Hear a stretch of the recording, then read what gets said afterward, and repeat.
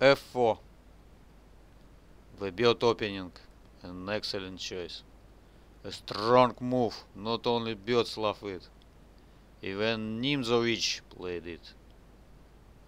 e6. A modest move, but really with a hidden power. g4. White attacks. Nice pawns. They control all squares.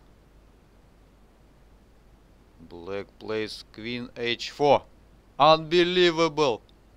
This is a checkmate.